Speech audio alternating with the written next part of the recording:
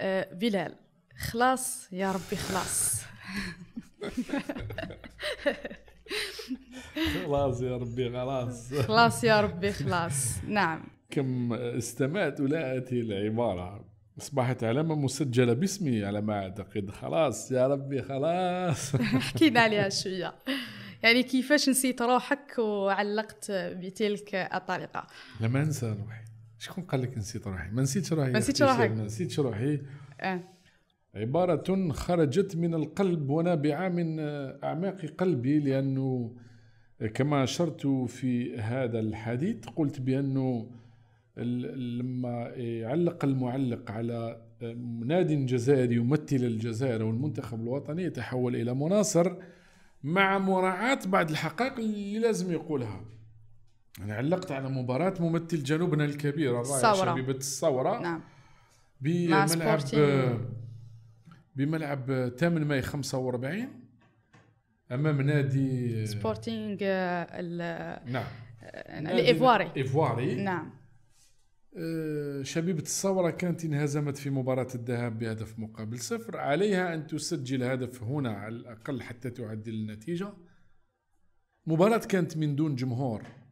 وفي وضح النهار هكذا في مباراة شبيبة الثورة خلتني نعيش معها بمشاعري لأنها كانت مسيطرة على كامل أطوارها. محاولات متكررة في كل مرة على الجهة اليمنى واليسرى. حارس الفريق الإيفواري كان يرد الكرات القائمة العارضة ترد.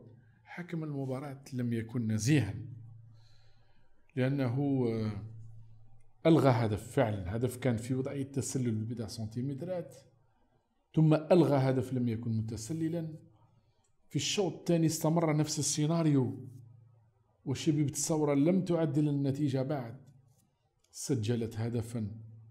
من وضعية صحيحة لم يحتسبها. ظلم تحكيمي. في اللحظات الأخيرة آه، ركلة جزاء لمسة يد. وأنا أعلق لم يحتسبها. حسبي هدف ركلة جزاء. مجزرة تحكيمية في سياق حديثي و آه، يعني شعرت بالإحباط وذلك الاستياء، نعم. الظهر والاستياء من حكم لم يحتسب هدفا ولم يحتسب ركلة جزاء.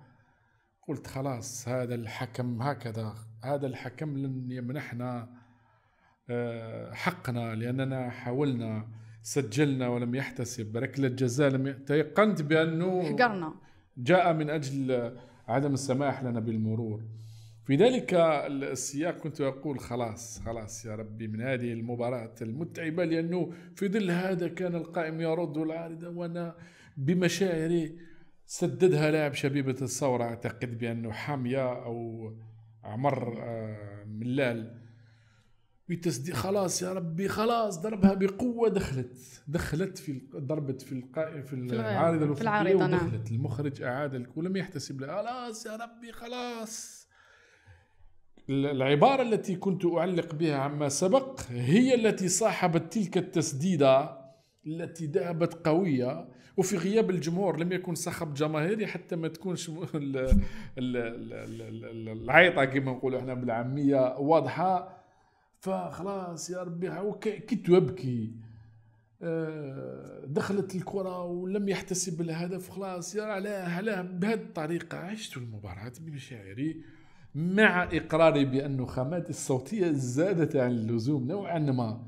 أنا كمعلق علي لا أتجاوز بخاماتي الصوتية مستوى حتى لا يتغير تتغير نبرة صوتي وتبقى نبرة صوتي. في ذلك في تلك اللقطة جازت. هي الوطنية اللي خلات معليش يعني. جازت ومع الجمهور ما كاش وما كاش صاحب جماهيري كانت واضحة للجمهور. الجمهور الآن العالم الميمز 30 ثانية تاخذها وهذا هو المستوى التالي وخلاص يا ربي خلاص. ومن بعد الحمد لله خلاص يا ربي خلاص. خلاص.